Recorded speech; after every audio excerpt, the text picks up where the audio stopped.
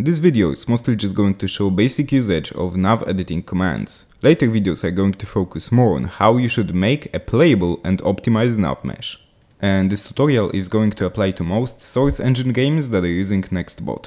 On Valve maps, navigation meshes are already there, but if you join a custom map without one, it should generate automatically. If it's not generating by itself, you can manually go into the console and type nav generate and then hit enter. After this is done, bots should be able to play your map. To edit navmesh, go into the console and type navEdit1. You should now be able to see and edit navigation meshes. The white cross in the center is your cursor. The tile you're pointing at is shown with a yellow outline, and all areas that are connected to it are shown in red. White line near your cursor shows grid. Now, before you do anything, remember to kick all of the bots or use bot zombie 1 and make sure that bots never stand on the tile you're currently editing, or else CSGO will crash very often. There's a lot of commands for navmesh editing, and you will probably want to bind them to some buttons. There's already a navigation mesh editing CFG available here, but since some people might want to create their own configs, I will show the command I'm using instead of a button from navmesh editing CFG.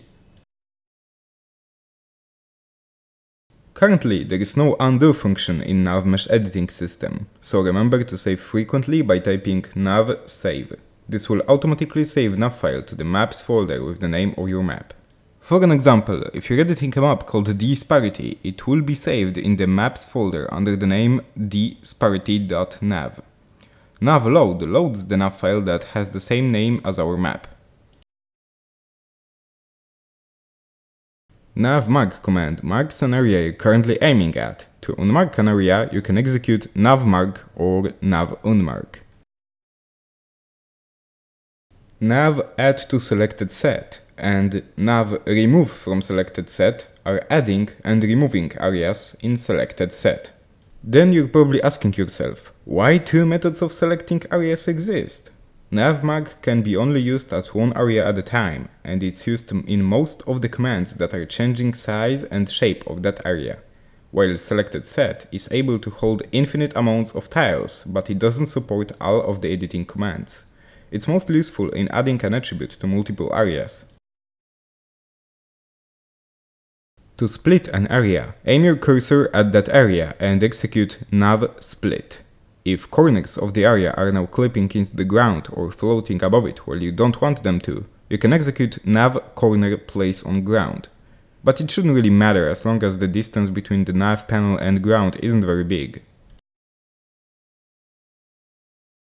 To merge two adjacent areas, aim your cursor at the first area and execute nav mark, and then aim at the second area and execute nav merge. Remember that both areas must be same size along the edge to be merged.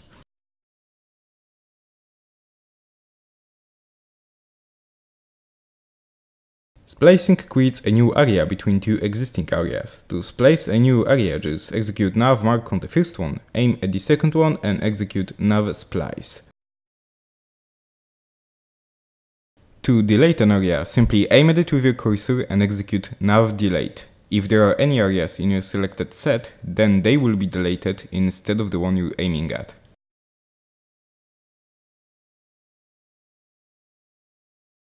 To make a one-way connection, mark or add selected set your first area and then aim at the second one and execute nav connect.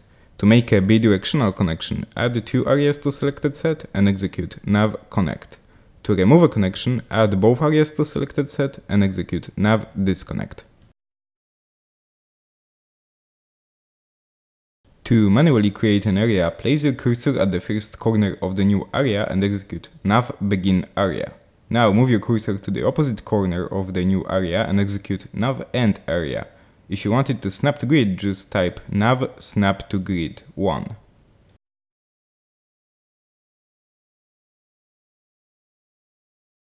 To build a ladder, you can just aim at it and type nav build ladder. A green ladder should appear. If it's red, aim at it and execute nav ladder flip. It should automatically connect to the rest of the level, however, if you want to change areas it's connected to, you will need to use nav mark, as selected set doesn't work with ladders. But besides that, connecting and disconnecting works the same way as with the normal areas, except that ladders can only be connected to different areas at the top or bottom. Alternatively, you can move your cursor on the ladder and when it changes color to green, proceed to create it manually, just like any other area. After you're done with editing, you will need to analyze the nav mesh with nav analyze command. Also, make sure you've changed the nav quick save to 0 before final release, as it's making the process of analyzing a lot shorter at the cost of quality of your nav mesh.